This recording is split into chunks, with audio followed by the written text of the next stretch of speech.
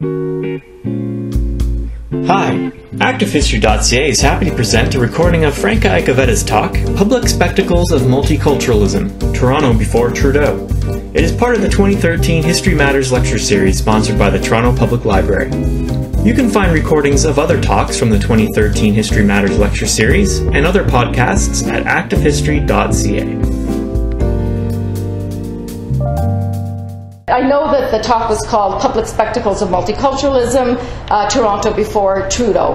Um, and what, I really, uh, what I'm going to talk about is a kind of example of pluralism before Trudeau's kind of vision statement of 1971 and the government policy and so forth. So when I say Trudeau, I really do mean I'm not going to talk about Trudeau um, or about um, policy, um, kind of state-directed official multiculturalism, but I will draw some links and I will draw some, um, some patterns, some suggestions from some earlier attempts uh, uh, at um, uh, experimenting with this liberal ideology that we call um, pluralism, and particularly the cultural form of it, of cultural pluralism, which Multiculturalism was a term that got increasingly used in the 1960s. Earlier, people who promoted the kinds of things that we think of as multicultural tended to call themselves pluralists and cultural pluralists. So, in that sense, just so we're all on the same page, I am talking about right people who um, believe in some basic, you know, fundamental principles around this liberal ideology. Um, among them is right that um, it's it, it's conceivable, it's possible, it's even a good thing if we have immigrants uh, uh, um, able to uh, preserve and to celebrate their ethnic customs and traditions and integrate into the mainstream. You know, also right adopt uh, the dominant principles. Um, it's the notion that a principle of mutual respect for difference, some kind of understanding of difference, that that's a good Canadian value, that's something that right we share as a community. And it's a way also, I'm going to talk more about this, a way also of trying to figure out how do you develop national unity with a diverse population. When the bonds right are no longer bonds of race whether it's the anglo-saxon race or the french race that they're no longer bonds of a shared history because you have increasingly diverse peoples uh, coming in uh, to the country. So those are um, you know some of the principles. Obviously the state multiculturalism or official multiculturalism um, also right says officially that we respect these things. We call them canadian values right? We call them part of our kind of notion of democracy and community. So I'm going to deal with some of those issues. Um, I'm also going to deal largely focus on the cultural pluralism uh, of, uh, um, of liberal pluralism and um, what the cynics call it, right, is the fluff, the fluff of multiculturalism, which is all about food and uh, uh, folk costumes and folk dancing. Um, and I, too, as someone who normally works in labor history and other kinds of histories, first looked at images like this and thought, what do you do with stuff like this? And now I've been trying to uh, make some sense of it. So, uh, what do we do with some of the, the food and, and the folk dancing? And I thought I might as well show you some uh, more contemporary uh, images of multiculturalism at work or pluralism at work. Um, what I'm going to do with images. Um, is uh, because most of the images from my period are black and white, I will show you some of them, but I also thought it was useful to use some more contemporary images because part of what uh, was being encouraged here was the notion that what's colorful, what's celebratory, what's um, uh, fun in a way, can draw people right into a kind of intercultural space where you can kind of begin the work of, of you know, getting to know, uh, getting to know each other. So here are some of the very, um, you know, very recent pictures of multiculturalism. These are some of the same groups um, that I'm going to be talking about as well. So I too have a critique of whether this is the way you want to promote multiculturalism. Um, but what I'm trying to do as an historian um, is to also try to understand uh, why you know there were significant numbers of people who did care right about um, about these kinds of vehicles, about these kinds of methods for encouraging you know greater national unity, for encouraging uh, some of these um, ideas. So what as an historian, what I'm doing, and other historians are beginning to do this too, is that rather than focus on that 1971 Trudeau statement, then the state policy, then the legislative frameworks, and all of that, where a lot of political scientists have focused um, on, where it's, in some ways it's elite culture, it's about the political machinations of all of that stuff, which is important, but I'm actually interested in looking at whether there are longer routes to multiculturalism? Is there a longer history um, where people try to right engage in this kind of uh, uh, um, liberal um, uh, activity? I'm also, uh, as an historian, as someone who's a social historian, interested in the bottom up uh, of history rather than the top down. Um, I'm also interested in seeing whether or not there were um, other kind of more bottom up um, uh, experiments in, in liberal pluralism or in cultural pluralism, or you know, if not necessarily working class up, then um, have there been more? Uh, have there been some community-based organizations, right, closer to the ground, uh, where people have been trying to, uh, uh, you know, engage in some of these ideas um, that we think of as cultural pluralism. So I'm looking at uh, other historians are doing this too. Historians are doing it for the United States, right? The place where we think it's all about the melting pot. Um, there too, people have found in the past various kinds of experiments um, in liberal pluralism. Why bother doing this? I, my uh, uh, suggestion um, is that um, I think some of these various different experiments may have helped inform late 20th century multiculturalism, including you know, official multiculturalism. Not that they did that in a linear way. I'm not suggesting a nice, easy Whiggish history from the past through uh, to what we have today, but that, that these things were bubbling up at different times in history, and there kind of was a resurgence of these uh, uh, in later periods. Why bother doing this? I mean, I am someone who wrote immigrant labor histories. Why bother doing this? Um, one of the reasons why um, is I came, up, I came upon uh, the records and images that I'm going to talk about tonight and wanted to try to figure out what they meant. But also, it's partly because the whole issue around multiculturalism and and what seemed to be a real quick acceptance of Trudeau's visionary statement, um, especially among English Canadians. It was more complicated in Quebec because of right? Because of French Canadian nationalism standing up against Anglo domination in the province and so forth. But it seems, right, when we look at it, that English Canadians, lots of middle class, ordinary English Canadians in places like Toronto, where there were so many uh, immigrants, um, seem to fairly readily accept, right, a notion of multiculturalism.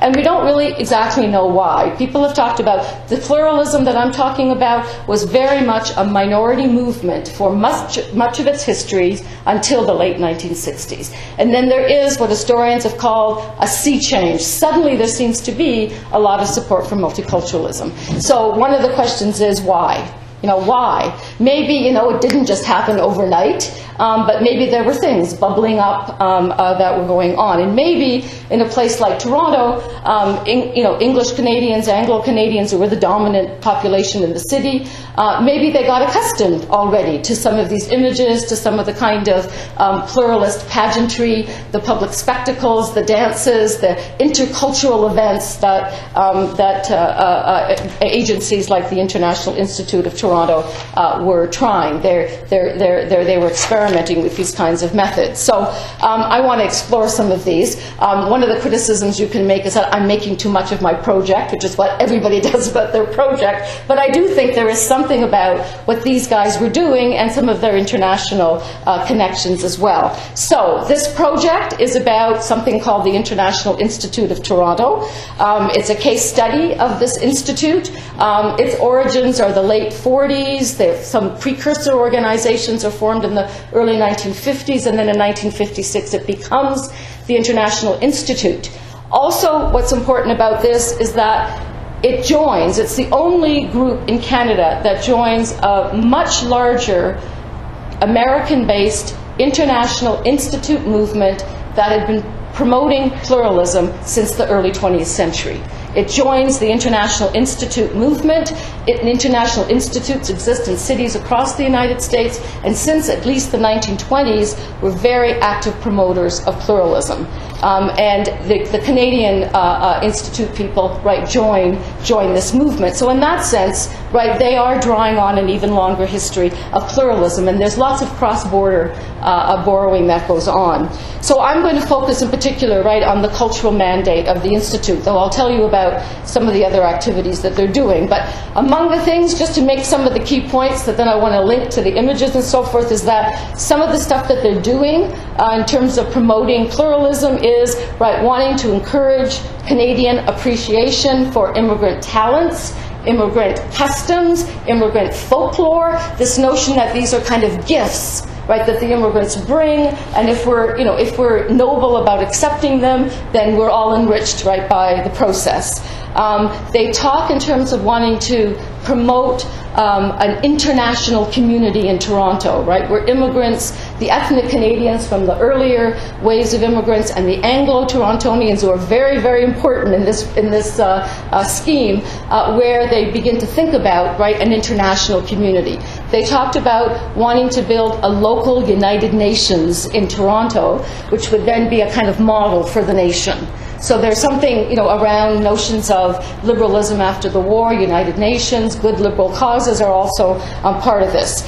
They always were promising, they often couldn't afford it, but they were always promising when they're trying to bring people into their spaces or when they were uh, uh, you know, running performances around the city and so forth, always promising colorful venues, exciting performances, authentic handicraft, foreign adventures, right, right at home, right? This is a lot of what we call uh, domestic tourism. Don't have to go anywhere, but you can go and inhabit, right, these interesting, colorful places, um, and you can learn, right, about about you know other peoples, and isn't that right a good and exciting thing? So this is also about trying to encourage a kind of cosmopolitan citizenship in a city by people, many of them are middle class Anglo Torontonians who I'm talking about, but by people who think, right, we can all be enlightened, right, by these kinds of things. So uh, that's the kind of stuff that I'm going to look at uh, tonight. It's going to be a bit of a scattergun approach with some comments and some imagery, and I hope that uh, uh it all makes some sense in the end. And you don't have to agree with me at all by the end of the, by the, end of the uh, process. So I'm looking at some of the possibilities, also the limits, also the paradoxes, um, and I'm looking at this place where there's a real mix of people. Virtually all white ethnics, but you've got uh, white immigrants, you've got eth- ethnic um, uh, um, ethnic Torontonians, and you also have uh, middle class um, Torontonians. You have women of the local councils of women, the IODE, the Toronto Junior League. You also have uh, a variety of ethnic organizations that are bringing their people in. You also have immigrants who are joining uh, the organization. So there is a kind of ethnic mix, a kind of intercultural space in the Institute. And as I said, I think it's worth doing partly because I think what the Institute was doing was promoting a kind of popular form of multiculturalism. That this is kind of populism at work. It's not about high-minded intellectual debate and principles, but about kind of making it, sending it out to the masses, you know, popularizing it, making it kind of in-your-face public. Um, so I'm, I am, you know, looking at this kind of Toronto-style public pluralism, um, kind of cavalcade of nations, lots of color. I think there is something very, you know, something Toronto about about all of this. The other thing I want to stress is that while a lot of what I'm going to show you is, you know, about ethnic customs, there's a certain amount of um, nostalgia about this, romanticizing these cultures that sometimes, right, Canadians uh, uh, saw in patronizing ways about kind of quaint traditions that people uh, were bringing. Uh, but what I think these multiculturalists I'm looking at were trying to do was to harness some of these traditions uh, for what they saw as a very kind of modernist nation building project. That this was about how do we kind of harness all of these uh, cultures in order to move forward, right, in, in, terms of questions of national unity. And again, I stress that's, that's what they think they're doing. This is not my position particularly. So, the Toronto Institute, let me just say a couple things uh, about it. Um, it is a product of the Toronto one was formed in uh, the post World War II period. It's operating very much in right that period of mass immigration to Toronto. We've had immigrants coming before then, but this is right the largest unprecedented volume of immigration coming to Canada in the post World War II period, and Toronto was getting more of them than anybody else. Um, lots of British, lots of Americans, but also right lots of, of Europeans in particular, the displaced persons, right, the survivors, uh, the volunteer Germans, the Italians, um, other kinds of uh, uh, groups as well. And this is the context in which the Toronto Institute is largely doing its work. Um, it's working largely within a white ethnic context, which a lot of people have also pointed out that that's kind of what official multiculturalism in Canada assumed as well. The Institute did try to reach out to what you know they call the new immigrants of the post-67 era, so South Asians coming in, East Asians coming in, Caribbean immigrants, but by the time it's trying to do some of that work, whether it would have done an effective job, I'm not going to say, but by the time it's trying to do that, it itself is falling apart and basically being replaced by some of these new governance structures. Um, in terms of the Institute, um, various activities, this is an organization. It's uh, working, it's a multilingual social welfare organization. It's a community chest organization that is you know, a United Appeal organization. It's working with non English speaking immigrants in Toronto. Um, and it's trying to do a number of different things. So, again, I don't want to suggest that the only thing it's, do it's doing is what I'm going to focus on, but uh, it is trying to do other things. So, it has what we might call social work aspect to it. So, there's lots of concern about uh, job placement, social welfare, um, uh, counseling, uh, uh, uh, clothing, baby layettes, food at Christmas time for people who are out of work. There are, um, there are mental health counselors at the Institute as well. And one thing that is interesting about the Institute is that it is very multilingual. It's the most multilingual place that's delivering immigrant services in Toronto in, in, uh, in this period. So you have social workers who are ethnic Canadian who can speak several languages. You have new immigrants um, who perhaps were doctors back home uh, who can speak four and five and six languages. You have people who become social workers who can speak a number of languages, and they're working with the immigrants. Also, they are trying to apply some of these pluralist methods uh, to some of the work that they're doing. So there's that aspect. Really important. I don't have time uh, to say more than that. Another aspect is what we might call the settlement house um, aspect. So that is the organizing of social activity, educational activity, recreational activity, citizenship classes, um, civics classes. So this is where um, you know they're they're running mothers clubs, they're running summer camps for low-income children, uh, they're running uh, hot lunch programs in the schools and so forth. So again, um, that's also a part of what they're trying to accomplish. In those kinds of um, uh, context, they are interested in participatory democracy, getting people right to uh, be involved in various kinds of running of, uh, of the house leagues, of the various organizations. There are various efforts to try to create inter-ethnic organizations so that the hockey league and the soccer league and the mothers club and the supper club and so on and so forth are actually inter-ethnic, right? They were very, very much uh, uh interested in people not staying within their own group, but being, right, being uh, with other groups. So that that, that's very much part of um, this activity as well. Um, there's also, um, you know, an interesting mix, a paradoxical mix of this kind of liberal democratic discourse and also Cold War discourses there as well. So the Institute said it was non-political, wasn't going to get involved in Cold War stuff, but it did clearly keep out any, anybody who appeared to be left-wing, um, and it did form alliances with some of the ethnic groups who were really quite virulently right-wing and virulently communist. But um, I tried to sort of maintain a non political mandate. Okay, and then the third big branch is this cultural pluralism, this attempt to kind of you know engage in ways of carrying out a kind of multicultural reimagining of Toronto, right? Toronto is like a British city, right? It's a queen city, heavily Protestant, heavily Anglo, and part of what these, in many cases, middle class Anglo Canadians involved in these activities were trying to, right, reimagine Toronto as something more multicultural in light of the new immigration. Some of it you might say is defensive, some of it is about, um, you know, uh, uh, calming anxieties or worries about all these different immigrants coming in. If we have,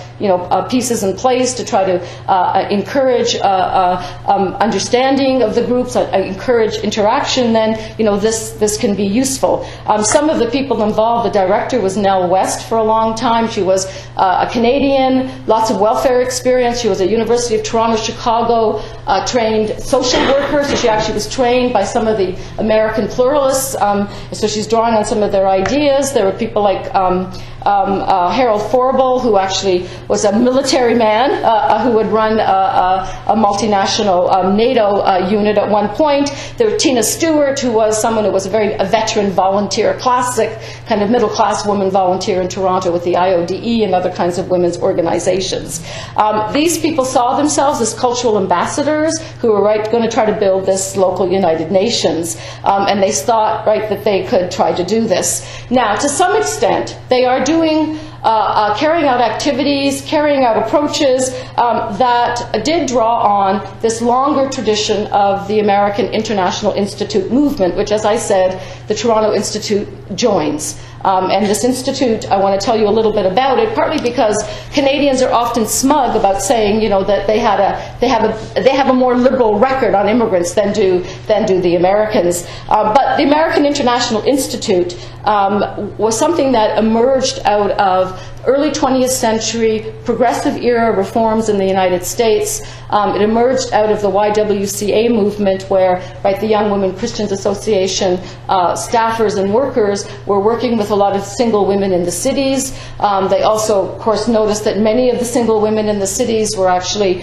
uh, uh, immigrant daughters of immigrant families, became increasingly interested in trying to do more with the immigrant families, bring them into uh, their spaces, and so they ended up creating this whole new movement called the International Institute. The first one created in New York City in 1910, and then it spread. Lots and lots of institutes across uh, the United States, and by the 1920s, there's about 50 of them, and Buffalo, Philadelphia, Boston, New York, Los Angeles, so on and so forth. Um, and these are people who are pushing a very minority position, pluralism, and they're doing so in the face of opponents who are either of the melting pot kind um, or of what, what were often called the 100% Americanizers, who were the absolute assimilate, you know, everybody turn them into Americans. And they were experimenting with a number of um, uh, uh, methods that the Toronto Institute um, uh, borrowed, and some of the things that I just said were among them.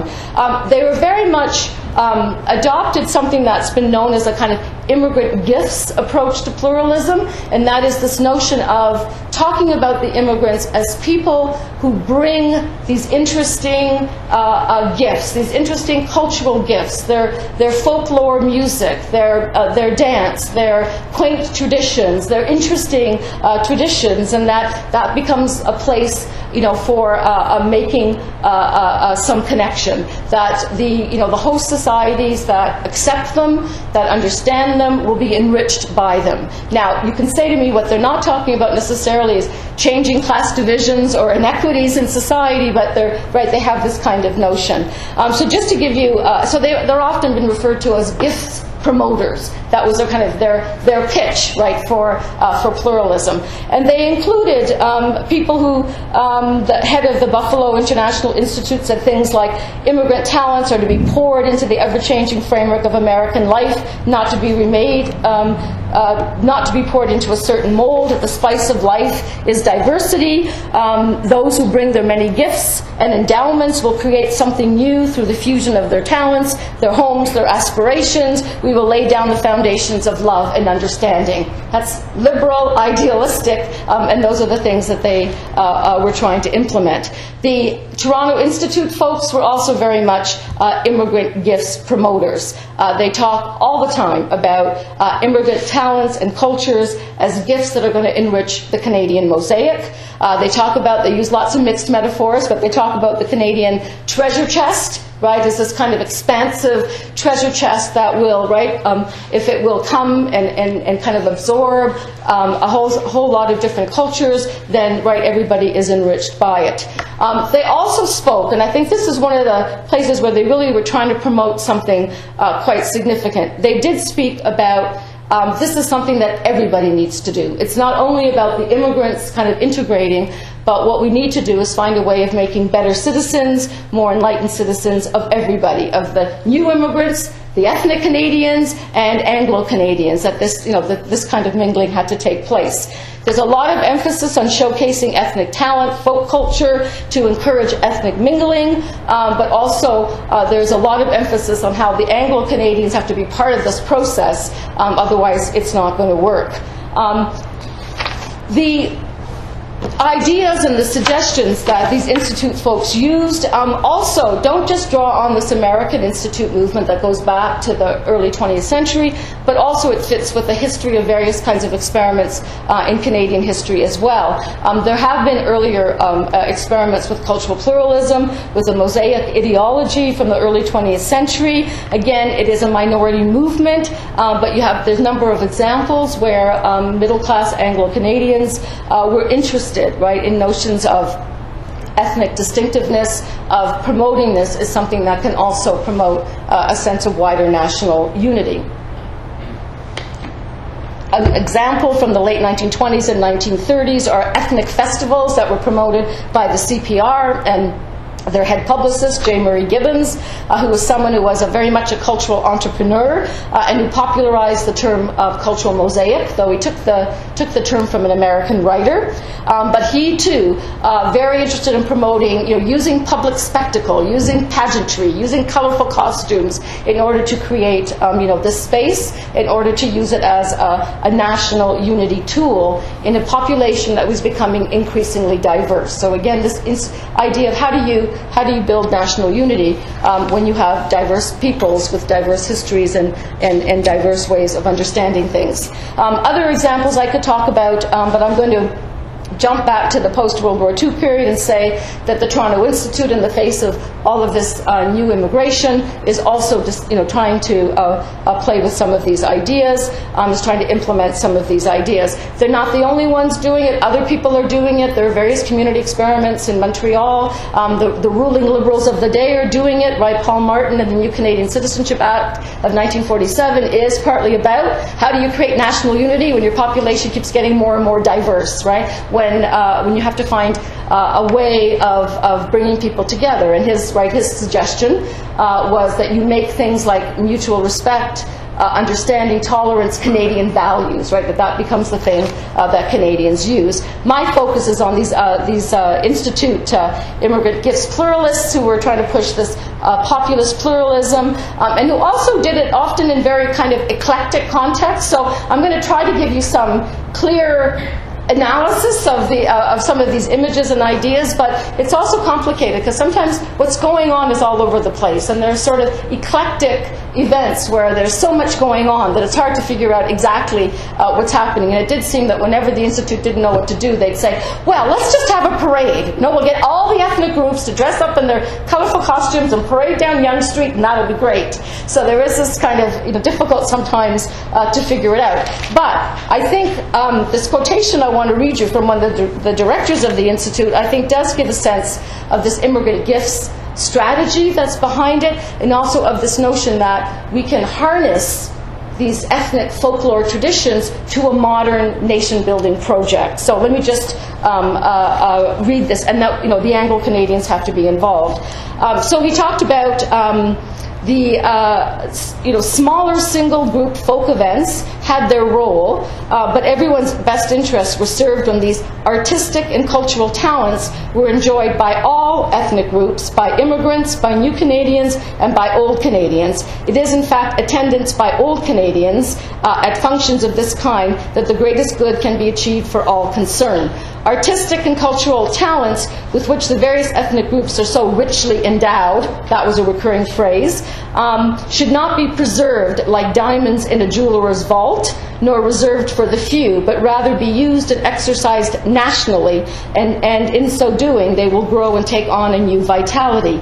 They may retain the, some of the significance of the country of origin, but they will take on new and meaningful interpretations of this land, and they will help us uh, build a nation. So you get a sense of that kind of nostalgia and, and modernity at the same time. So let me um, show you some of these images. First, I wanted to um, give you a sense of the American International Institute movement and what it's doing already in the 1920s. So this notion of all nations pageants and so forth is very much uh, part of their strategy. Um, it also in the 20s and 30s was used in, in schools and synagogues and churches. There's something that was referred to as a, a cultural gifts movement uh, uh, in the United States, which then is stopped by the war when like patriotism becomes uh, uh, um, you know the, the, the, the main issue, but then a resurgence after the Second World War. So here is a 1950s American example of the uh, All Nations Parade. So again, um, you know, the Americans are doing it too. They're, they're in a minority position until the late 60s and 70s as well, but they're there too. And there are real connections between uh, the institutes. And uh, the Toronto people have connections uh, to the Americans. Um, some of the people trained in the American institutes work at the Toronto Institute. Some of the um, uh, social workers who were first volunteers go to the United States to become social workers in pluralist methods. So you get, um, you know, you get this, this growth of a kind of pluralist uh, uh, professionalizing of, of pluralist ideas. So these are some of my uh, institute people, and as I said, um, there are lots of women volunteers, there are lots of immigrants or ethnic Canadians, and they're doing a variety of things. Some of them look small scale, some of them are bigger scale. Um, so this is an example of uh, um, among the many things that they did. Sunday afternoon teas, that might be a fundraiser, but that almost always, um, they either happen at the Institute itself or they happened in the homes of some of these wealthy middle class women who were the volunteers, and almost always they had sort of what I call the pretty ethnic uh, women in costume uh, who were part of the process. They were always there, um, and on one level, we could say that this is a classic example of promoting pluralism as non-threatening, right? This is female, feminine embodiment of, plur of uh, pluralism. Don't worry about it. These are lovely women in their lovely um, outfits. On the left, Budapest, Hungarian, and uh, Italian um, um, on, on your right. Um, but we can say that, but they also were supposed to have a kind of role as nationality workers. And partly what they were supposed to be doing was encouraging conversation across cultures, right? Putting people at ease, telling them about their cultural customs so that the other might tell them about theirs. And in that sense, right, be part of this kind of mingling and, and mutual respect. Um, another example here, which is also interesting because we don't see very many immigrants of color emerge in the Institute records, but here is, uh, here is uh, someone who is uh, in costume as well, in uh, Jamaican costume, and then the woman to the right, who's the more common kind of figure in, in, in these images and records I kept coming across in the archives, um, who's in a Dutch national costume. Now, this is um, a Save the Children fundraiser. And again, on the one hand, we can sort of make light of this and say, oh yeah, you know, they've got the, they've got the pretty, you know, ethnic girls out in their costume. The Institute actually had files that were lists of pretty ethnic girls of all different ethnic nationalities in Toronto, and they would phone them up. Or if they couldn't find somebody, they would ask like the, uh, the, the, you know, the Greek organization or the Latvian handicraft organization or somebody say, find me some pretty girls, right, that we can put uh, in costume. So it's easy to make fun, and I don't have a problem doing that. But on the other hand, what's also interesting is that these people are involved in what are classic liberal causes of the post-war period, right? This is Save the Children Fund. Uh, they did the same kind of thing for uh, uh, United Nations Day, for Citizenship Day, for Citizenship Week. Um, and so partly what was going on was a promotion of those kinds of post-war values, internationalism, right? A belief in the United Nations, a notion that if people talk out their issues, if they get to know each other, then right, we might have a, a less violent world, right? So there are those kinds of um, principles that are operating here as well. You can decide, you know, whether I'm reading too much into this picture or whether it's sort of all part um, of the story. Now, some of the uh, other things the Institute did was uh, it was very keen on what we, uh, uh, some historians have called kind of domestic uh, tourism or exotic tourism uh, in your own city. And that is, they would um, set up an old world bazaar or a European market, and then they would right, invite people to come and say, you know, come to this new carnival, come to this old world market, and, um, you know, have, have fun, right? Have fun and learn things. So just an example of some of the flyers that they would, they would use would be things like, come one, come all to the old world bazaar, sample foods from foreign lands, uh, get a gypsy to tell your fortune, feel rich by joining a millionaires club by gambling a fortune in dollars, which of course were really only pennies, uh, play a chancy game of tombola, uh, buy a Christmas gift, you know, unique handicraft gift uh, for your friends and family, and be the talk of the town. So there's a certain amount of you know that kind of thing going on as well. At the end of these bazaars, they might go on for a weekend, and everyone was supposed to get together on the dance floor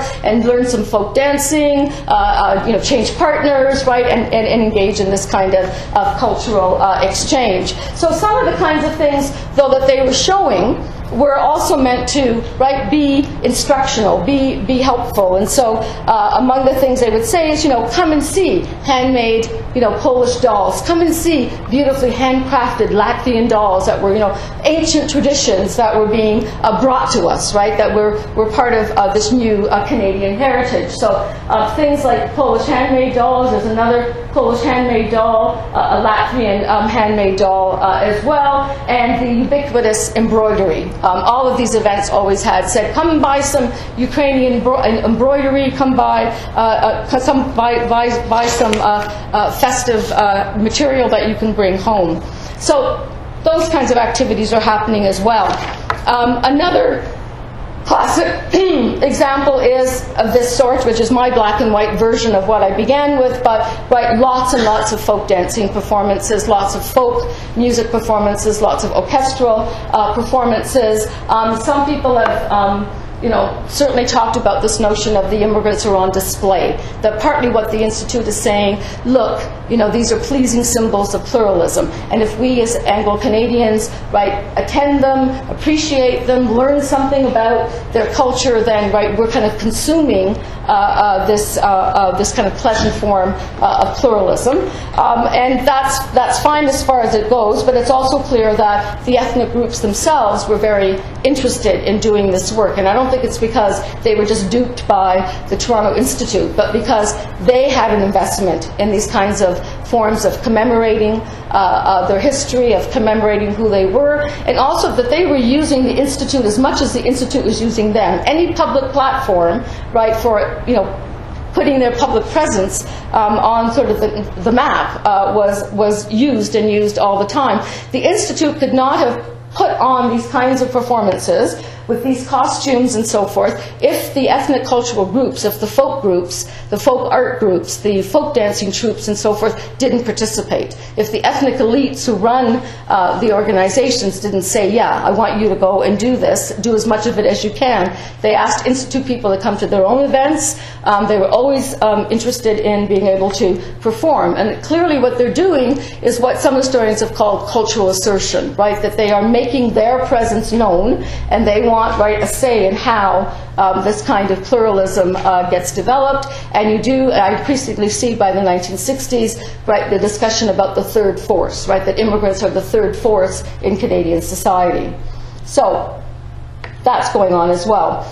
Another thing the Institute was very keen on, and again, this goes back to this is why I I, I made a point of talking about kind of participatory democracy, settlement house kind of stuff, because it wasn't enough just to see performances. They were also very keen on workshops where people actually, you know, engaged in right these dances and so forth. So this whole issue about you learn about dances from another land, you learn a little bit about the history of that land, you try out their dances, you try out somebody else's dances. Everybody gets, you know, everybody everybody actually is moving, is active, and it's a kind of, you know, grassroots participatory democracy that they're partly talking about. So here um, they're um, trying to learn their dances, and then I've snuck in a more contemporary picture because, again, I think what, what the black and white doesn't show is the color.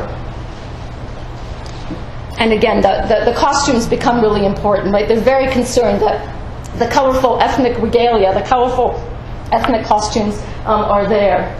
Um, here's another um, strategy the Institute used. It introduced something called ethnic weeks um, as a pluralist strategy. And what these um, were, um, uh, I should say about the workshops, that if people didn't dance with each other, if they didn't break out of their groups, the Institute people got really annoyed, right? They'd say, these people only want to dance with their own people. We have to go in there, break them apart, make them dance, you know, with the other group. So that was something that they talked uh, about as well. These ethnic weeks, um, this is Hungar- this is a Hungarian ethnic week week uh, 1963. Um, this is Mayor Summerville of Toronto, who was a folklorist, I mean, very much in favor of folklore, folklore preservation. Um, he's, he's involved in various attempts to build folk community um, organizations that become important in the 60s in Canada.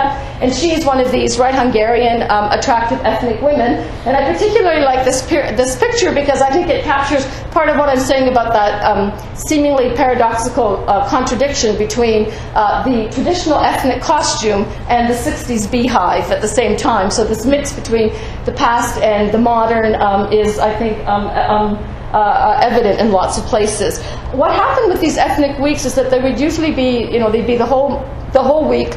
They might begin with a kind of afternoon uh, tea. Then there would be some kind of formal um, um, aspect to it. Um, this is Summerville is going to cut the ribbon um, uh, for what is an arts and crafts display. It has some high art painting. It also has folklore painting. You can see the sculpture there as well. And then the rest of the week would be a whole series of activities that were all about showcasing the ethnic group being, um, you know, being celebrated. And the idea was to bring as many different people as you could into the institute to take in these um, events. So there would be lectures about the history. There would be folk dancing and folk demonstrations. There would be the handicraft dolls, um, and the idea was to kind of keep coming back over the course of the week. And it was all supposed to end with a grand ethnic banquet, which was always described in by using colorful, uh, colorful language.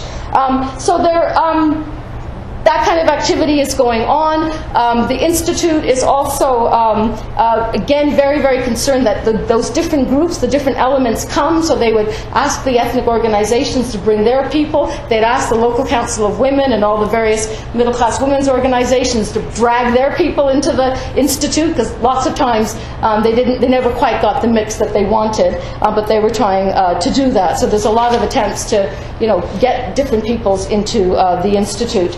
The other thing I'm going to say, I don't have time to say very much about this, but the Institute's emphasis in many ways was kind of the folk thing, right? It was the folk tradition, the, you know, the songs about the peasantry, national songs about soldiers, and so on and so forth. But we should keep in mind um, that in many cases, what we're talking about are performances uh, by people who are performing, you know, what we might consider classical music. Um, this is Kodaly, who was Hungarian uh, composer of um, of uh, folk music, but he also was a classical trained composer. And uh, there's, a, there's an irony here in some cases because these orchestras or these pianists or singers would perform what were perceived to be folk music, but they themselves were class- classically trained right? Especially in terms of the Eastern Europeans and others who were in the displaced persons camps uh, and then come to Canada. And their view of, of, Canada was that it was a Philistine place, that there was no high art, uh, that there was, you know, culturally it was itself quite backward. So you end up in this sort of, again,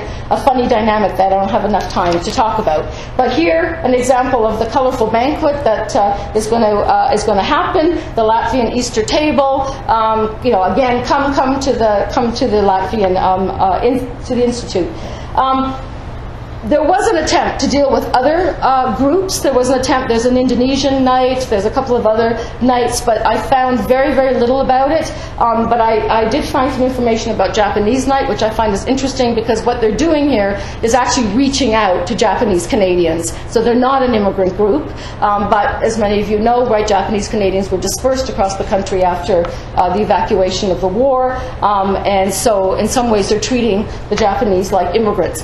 They will treat also Aboriginal uh, uh, uh, Canadians like immigrants as well. So their handicrafts get brought into the Institute. This notion that they too have to make this transition to Canadian society uh, is happening.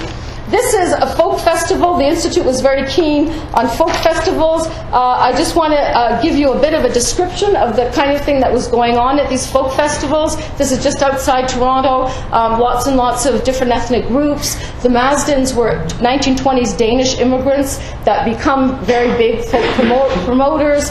They're very actively involved in a kind of semi-professional circuit of people who are getting hired and going to various places and performing in all of these places. And this is an example to give you a sense of the eclecticism, which makes it sometimes hard to figure out really uh, what they thought uh, was going on.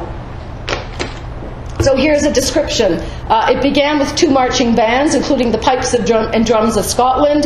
Then Performers, all in traditional dress, took to the stage. The Agincourt International Folk Dance Group performed very gay dances from many lands, including Poland, England, and the Italian Tarantella. There were Scottish country dances, a medley of Serbian line dances, Danish Canadian folk dances, and a Ukrainian troupe who performed colorful, strenuous, and gay dances from around the Black Sea, and an Austrian duet played the zither and guitar. A group of Iroquois Indians from the Six Nations of Brantford, Ontario, performed some Chief Hiawatha traditional dances familiar to those of our own Indians in Ontario. The lilting gayness of Scandinavian dances performed by the Buffalo International Institute Dance Group, a Norwegian Canadian dance couple, the Maasdam School Dancers, uh, the folk singers included the Hi- Highland Scots Group, a Dutch choral group from Toronto and Hamilton who sang songs telling of the peasant life in gay times past a few French Canadian folk dances and songs. The Hungarian 80 youth dancers performed a traditional wedding dance. There was an Israeli dance group, an Italian choir, an Austrian youth group of New Canadians who performed the gay, lighthearted dances of their native Austria. Um, and it goes on and on, right? So there's a kind of, you know, the kaleidoscope of color and, and, and sometimes seems to be the point um, at the same time as I'm trying to kind of figure out some of the meaning uh, behind this. Um, and certainly as we go into the 60s, there is a lot of emphasis on more public, more spectacle, more colorful. People like Forble at the Institute are saying, we've now had enough immigration, that we've collected lots of cultural treasures. We've got all sorts of immigrants with all sorts of uh, traditions, so let's put them out there in bigger places. So the CNE Grandstand show, Labor Day weekend in Toronto in the 60s, has um, these kinds of, of pageants, uh, something called Nation Builders uh, at uh, the CNE. This one is a Nation Builders Ball that was taking place the night before at the Royal York Hotel. And again, you see, right, that all the ethnics are in costume, and the one Anglo guy is in, right, in, in uh, civilian dress, so to say. Um, and again, you know, colorful uh, descriptions about uh, their colorful um, costumes. Um, I like this one too, again, because of the, uh, of the dynamic. So that she's in, she's in her ethnic dress. Um, and uh, she's dancing with this fellow without dress, and it refers to uh, women in the background seem somewhat dismayed by Helga Seibold and Bobby Kruger, obviously enjoying their version of the twist at the Saturday ball. So you see these um, uh, ethnic women in the background. So again, this mix of, of tradition and modern. Um, another event the Institute is involved in, I mean, it's not the, the leader by any means, but is very involved in, is um, the Metro Caravan, Metro International Caravan of the late 1960s. And here's, um, right, an example of, of uh, uh, um, an Italian uh, uh, immigrant woman with her pizza at the Italian pavilion. And one of the things that's interesting about Metro Caravan, that in a sense it is domestic tourism and popular pluralism brought to a higher level. Because what you literally did was, right, you bought a passport um, and you bought a passport that allowed you to go visit pavilions, different ethnic pavilions around the city, and you'd get your passport stamped, and you'd actually go in and observe, right, the dancing, or eat the food, or go to the Irish pavilion and go to the pub and drink beer, or do whatever it is that you wanted to do. But the idea was, right, that you were kind of like the European traveler, right? You were going off to these places uh, while still safely at home, and that you were becoming enlightened, right, an enlightened, more cosmopolitan city, uh, a citizen as, uh, as a, a result of it. Um, and that, you know, caravan goes on for right, almost 30 years, I think. It's more than 30 years that it's around uh, in Toronto. And uh, here's another Metro uh, Caravan Ukrainian sailor dance in 1974. And this is a very classic example of the kind of pavilion that you would go into, right, and then take in uh, what was going on. Um, I'm going to just shift very briefly to one other side of the story, which is you know, I very much focused on the role that the immigrants were playing, and the Canadians were kind of the consumers, appreciative consumers of it. But there were also um, strategies for um, teaching the immigrants about Canadian uh, uh, history and about Canadiana, and also trying to do it partly through um, kind of public spectacles. So the Institute ran something called Canadiana Weeks uh, every September uh, for a week in format very similar to the ethnic weeks that I described, except this time Canadiana uh, was on display. And they used, um, you know, items, they used historical pageantry, they used theater, they used music um, in order to, you know, uh, uh, basically tell, um, tell Canadian history, but tell a particular version of it. This notion, what's really um, operating here is this notion that, you know, if once we were intolerant of diverse peoples, we've become more tolerant, um, and we now respect, and we th- therefore have a better future. Another kind of line was that we, you know, Canada is more diverse than the immigrants might realize. You know, we have different peoples, different cultures, different customs, and, you know, this is a past that we need to retrieve and then move forward with it. These history lessons didn't include, right, didn't include things like the Chinese head taxes or, right, uh, you know, uh, not very positive aspects about Canadian history. So it's what we call, you know, a selective uh, kind of um, uh, version of history. So some of the things they used, uh, the uh, Art Gallery of Ontario, then the Toronto um, Art Gallery lent paintings from their Canadiana section uh, to put on display at the Institute. So Cornelius Krieghoff's Habitant sw- uh, uh, sleighing is obviously a very romantic notion of the Canadian past, but they also used Emily Carr, so bold, uh, modern uh, uh, paintings were used to also talk about right this bold country, this modern country that's happening. They were very keen on the group of seven, and I see the group of seven prints over here, um, and I should say that the Toronto Public Library also lent materials to the Institute, uh, books um, and other things that, again, were to be part of these sort of uh, Canadiana lessons. This is uh, an example of Canadian handicrafts that would be brought into the Institute. The Grenfell Mission, which was in Labrador, uh, had a, a, tradition of uh, handicraft making, uh, descendants of English and Irish settlers, also Inuit uh, in the area, and again, uh, colorful representations, right, of uh, a colorful past. So these, the famous hooked rug from Grenfell Mission would be brought in. It's another example of the hooked rugs um, Grenfell Inuit bookends, and again, the whole issue around ways in which um, Aboriginal handicrafts were sort of made immigrant uh, is an interesting uh, uh, dynamic I can't talk about. Um, the quilts, uh, Loyalist quilts, United Empire Loyalist quilts were brought in as a way then of being able to talk about who the Loyalists were, right in the making of Canada, and there was a lot of use of this kind of thing, romantic, hero- heroic notions uh, of the Canadian past. Um, they used um, uh, uh, all sorts of paintings from the Confederation Life Insurance Company that had this gallery, right, of heroic renditions of the Canadian past, like Cabot and the and the flag. Um, and again, those were used partly to say, you know, Canada's still a young country, it's a rich country, we still you know, have to make our future, and that we can make it together.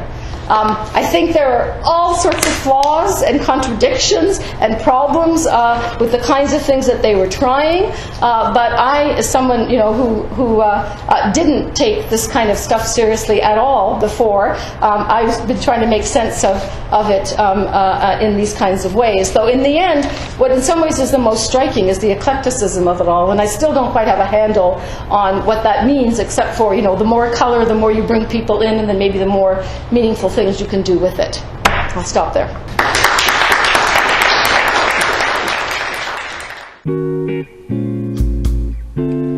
You've been listening to a recording of Franca Iacovetta's talk, Public Spectacles of Multiculturalism Toronto Before Trudeau.